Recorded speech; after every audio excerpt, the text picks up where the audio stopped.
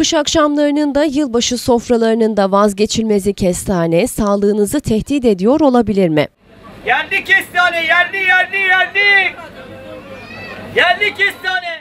Havaların soğuması ve özellikle yeni yılın yaklaşmasıyla birlikte pazarlarda yerini alan kestane, vatandaşlar tarafından yoğun ilgi görüyor. Pazarda aydın kestanesi olarak vatandaşlara satılan normal kestaneden hem ebat hem de şekil olarak farklılık gösteren Çin kestanesi, normal kestanenin neredeyse yarı fiyatından satılıyor. Çiğ yenildiğinde içeriğindeki maddeler sebebiyle insan sağlığına zararlı olduğu belirtilen Çin kestanesi, ateş üzerinde pişirildiğinde ise dışarıya köpük salıp bambaşka bir görünüm alıyor. Bursa Tuz Pazarı'nda yıllardır kestane satan Orhan Çağlayan vatandaşları herkes dikkat etsin kimse kestane almıyor, hem paralar çöpe gidiyor hem de sağlıklarından oluyorlar diyerek uyarıyor. Soğuk gecelerin vazgeçilmez lezzeti olan kestanenin fiyatı pazarda 140 liradan başlıyor. Pazar esnafı Çin'den ithal edilen kestanenin hayvan yemi olarak ülkeye getirildiğini söyleyerek vatandaşların dikkat etmeleri konusunda çağrıda bulundu. Tuz pazarı esnaflarından Orhan Çağlayan vatandaşların kestaneyi günlük bulunan tezgahlardan almamaları gerektiğini belirtti.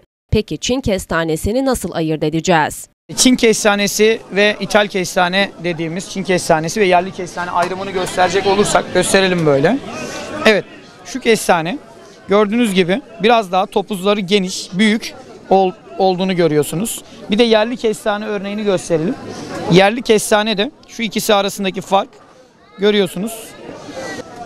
Birazcık daha topludur, birazcık daha bu düzdür. Çok iri olur. Fiyatı gerçekten de 100-150 bandında olur. Biz kestaneciler olarak biz böyle irilikte kestaneyi toptanını 150'ye şu an bu sene alamıyoruz ki zaten kestane bu sene yok mahsul olarak. Bu yüzden de herhalde Çin kestanesi, İthal kestane çok fazla giriş yaptı. Türkiye'de kestane mahsulü olmadığı için daha fazla giriş yaptığını düşünüyoruz. Her sene vardı ama bu kadar çok yoktu. Vatandaşlardan çeşitli şikayet alıyoruz. Dikkat etmeleri gereken nokta şu. Günlük bulunan yerlerde işte cami çıkışları, işte çeşitli sokaklarda, caddelerde, günlük bulunan yerlerde satılıyor bu e, özellikle. Bugün var, yarın yok tabiri caizse. Böyle yerlerden almasınlar. Kestaneyi devamlı satan, e, her yıl satan, her gün orada olan kişiden alsak daha mantıklı olur.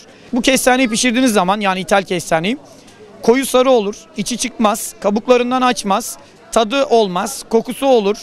Yani eee, çekici bir tadı olmaz, kokusu olmaz. Pişirdiğiniz zaman köpük yapar, yani sulanma yapar. Bu kestane aslında yenmez.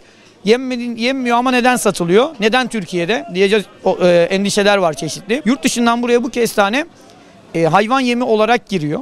Hayvan yemi olarak girdiği için Türkiye'ye gir- girişi açıkçası serbest ama satışı yasak. Gerekli yetkililer buna müdahale etmesi için yerinde tespit etmesi lazım. Satıldığını tespit etmesi lazım. Bunun için de vatandaşların şikayet etmesi lazım böyle satanları. Satımı yasak. Siz de almayın. Vatandaşlar dikkat etsin. Kestane almıyorlar. Parasını çöpe atıyorlar.